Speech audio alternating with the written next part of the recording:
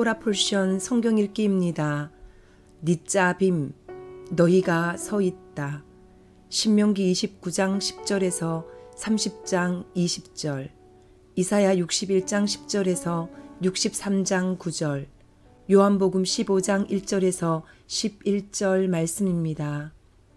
신명기 29장 오늘 너희 곧 너희의 수령과 너희의 지파와 너희의 장로들과 너희의 지도자와 이스라엘 모든 남자와 너희의 유아들과 너희의 아내와 및 내 진중에 있는 객과 너를 위하여 나무를 패는 자로부터 물 깃는 자까지 다 너희의 하나님 여호와 앞에 서 있는 것은 내 하나님 여호와의 언약에 참여하며 또 내 하나님 여호와께서 오늘 내게 하시는 맹세에 참여하여 여호와께서 내게 말씀하신 대로 또 내 조상 아브라함과 이삭과 야곱에게 맹세하신 대로 오늘 너를 세워 자기 백성을 삼으시고 그는 친히 내 하나님이 되시려 함이니라. 내가 이 언약과 맹세를 너희에게만 세우는 것이 아니라 오늘 우리 하나님 여호와 앞에서 우리와 함께 여기 서 있는 자와 오늘 우리와 함께 여기 있지 아니한 자에게까지이니 우리가 애굽 땅에서 살았던 것과 너희가 여러 나라를 통과한 것을 너희가 알며 너희가 또 그들 중에 있는 가증한 것과 목석과 은금의 우상을 보았느니라. 너희 중에 남자나 여자나 가족이나 집하나 오늘 그 마음이 우리 하나님 여호와를 떠나서 그 모든 민족의 신들에게 가서 섬길까 염려하며 독초와 쑥의 뿌리가 너희 중에 생겨서 이 저주의 말을 듣고도 심중에 스스로 복을 빌어 이르기를 내가 내 마음이 완악하여 젖은 것과 마른 것이 멸망할지라도 내게는 평안이 있으리라 할까 함이라.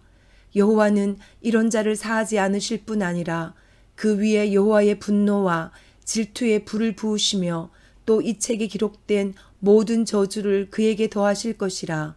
여호와께서 그의 이름을 천하에서 지워버리시되 여호와께서 곧 이스라엘 모든 지파 중에서 그를 구별하시고 이 율법책에 기록된 모든 언약의 저주대로 그에게 화를 더하시리라. 너희 뒤에 일어나는 너희의 자손과 멀리서 오는 객이 그 땅의 재앙과 여호와께서 그 땅에 유행시키시는 질병을 보며 그 온 땅이 유황이 되며 소금이 되며 또 불에 타서 심지도 못하며 결실함도 없으며 거기에는 아무 풀도 나지 아니함이 옛적에 여호와께서 진노와 격분으로 멸하신 소돔과 고모라와 아드마와 스보임의 무너짐과 같음을 보고 물을 것이요. 여러 나라 사람들도 묻기를 여호와께서 어찌하여 이 땅에 이같이 행하셨느냐? 이같이 크고 맹렬하게 노하심은 무슨 뜻이냐 하면 그때의 사람들이 대답하기를 그 무리가 자기 조상의 하나님 여호와께서 그들의 조상을 애굽에서 인도하여 내실 때에 더불어 세우신 언약을 버리고 가서 자기들이 알지도 못하고 여호와께서 그들에게 주시지도 아니한 다른 신들을 따라가서 그들을 섬기고 절한 까닭이라. 이러므로 여호와께서 이 땅에 진노하사 이 책에 기록된 모든 저주대로 재앙을 내리시고 여호와께서 또 진노와 격분과 크게 통한하심으로 그들을 이 땅에서 뽑아내사 다른 나라에 내 던지심이 오늘과 같다 하리라 감추어진 일은 우리 하나님 여호와께 속하였거니와 나타난 일은 영원히 우리와 우리 자손에게 속하였나니 이는 우리에게 이 율법의 모든 말씀을 행하게 하심이니라. 30장 내가 내게 진술한 모든 복과 저주가 내게 임함으로 내가 내 하나님 여호와로부터 쫓겨간 모든 나라 가운데서 이 일이 마음에서 기억이 나거든 너와 내 자손이 내 하나님 여호와께로 돌아와 내가 오늘 내게 명령한 것을 온전히 따라 마음을 다하고 뜻을 다하여 여호와의 말씀을 청종하면 내 하나님 여호와께서 마음을 돌이키시고 너를 국률이 여기사 포로에서 돌아오게 하시되 내 하나님 여호와께서 흩으신 그 모든 백성 중에서 너를 모으시리니 내 쫓겨간 자들이 하늘 가에 있을지라도 내 하나님 여호와께서 거기서 너를 모으실 것이며 거기서부터 너를 이끄실 것이라.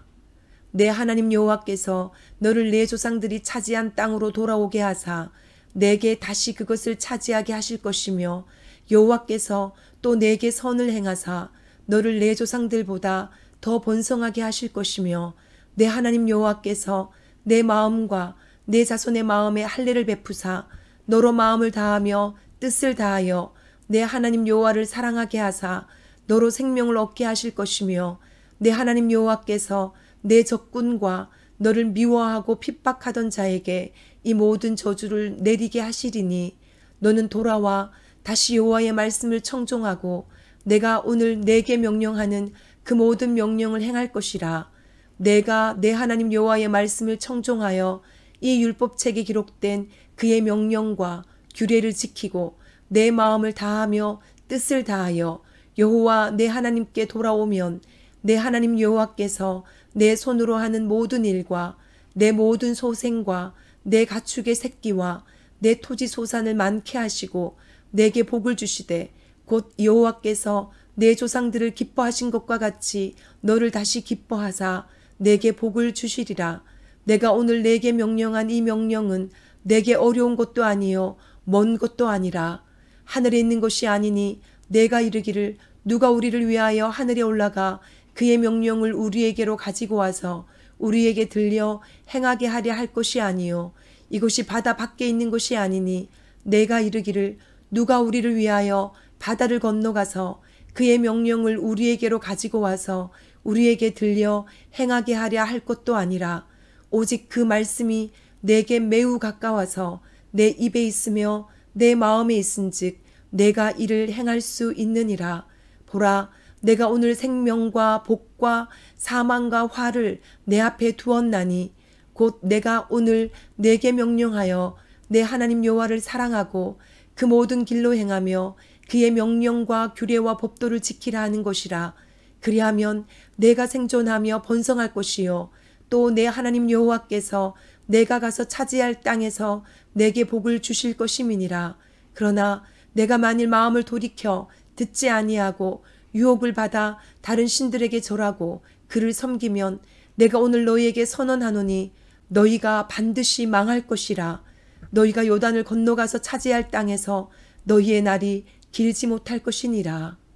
내가 오늘 하늘과 땅을 불러 너희에게 증거를 삼노라.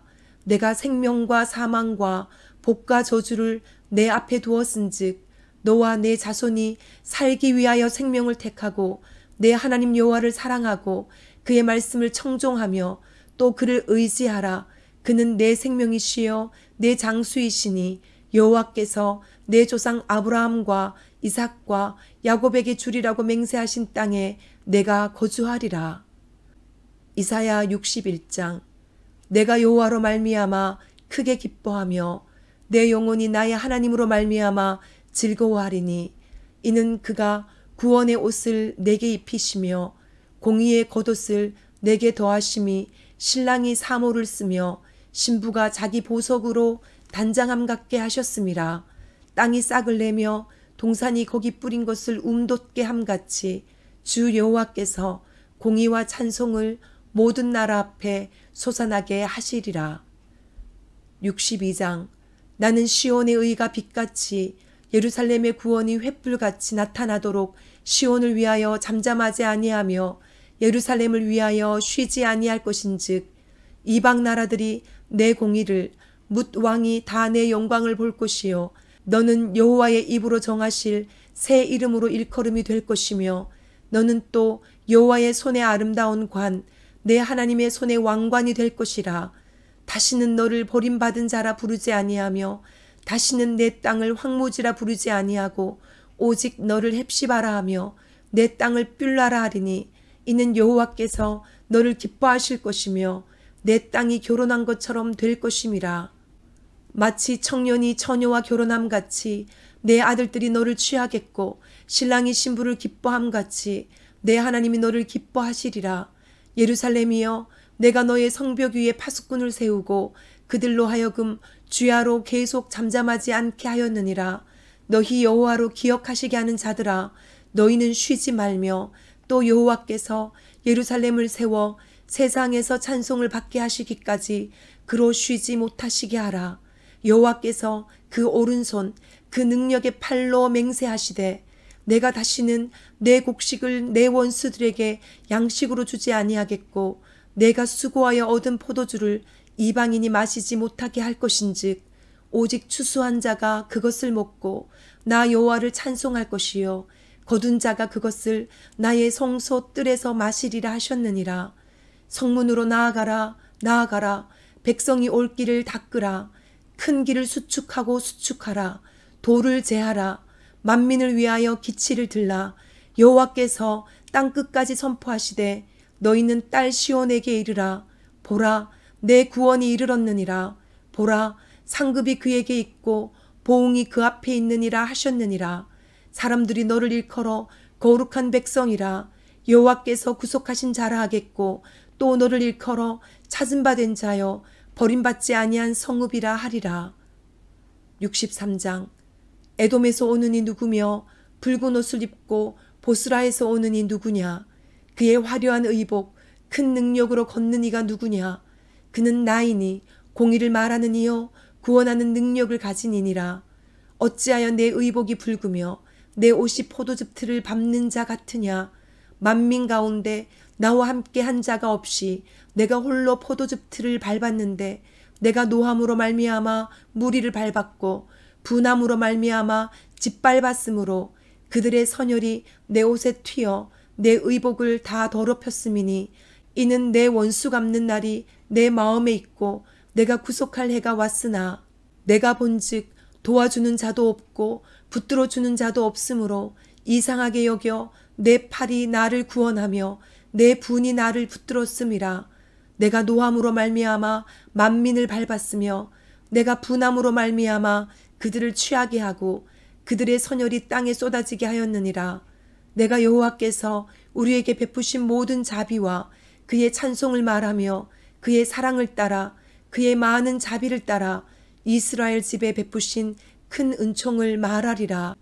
그가 말씀하시되 그들은 실로 나의 백성이요 거짓을 행하지 아니하는 자녀라 하시고 그들의 구원자가 되사 그들의 모든 환란에 동참하사 자기 앞에 사자로 하여금 그들을 구원하시며 그의 사랑과 그의 자비로 그들을 구원하시고 옛적 모든 날에 그들을 드시며 안으셨으나 요한복음 15장 나는 참 포도나무요 내 아버지는 농부라. 무릇 내게 붙어 있어 열매를 맺지 아니하는 가지는 아버지께서 그것을 제거해 버리시고 무릇 열매를 맺는 가지는 더 열매를 맺게 하려 하여 그것을 깨끗하게 하시느니라. 너희는 내가 일러준 말로 이미 깨끗하여졌으니 내 안에 거하라. 나도 너희 안에 거하리라. 가지가 포도나무에 붙어 있지 아니하면 스스로 열매를 맺을 수 없음 같이 너희도 내 안에 있지 아니하면 그러하리라. 나는 포도나무요 너희는 가지라.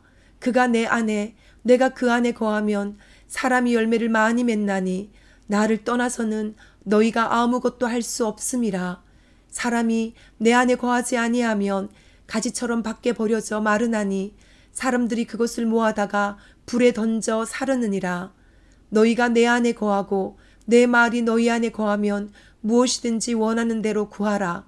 그리하면 이루리라. 너희가 열매를 많이 맺으면 내 아버지께서 영광을 받으실 것이요. 너희는 내 제자가 되리라. 아버지께서 나를 사랑하신 것 같이 나도 너희를 사랑하였으니 나의 사랑 안에 거하라. 내가 아버지의 계명을 지켜 그의 사랑 안에 거하는 것 같이 너희도 내 계명을 지키면 내 사랑 안에 거하리라 내가 이것을 너희에게 이름은 내 기쁨이 너희 안에 있어 너희 기쁨을 충만하게 하려 함이라. 아멘.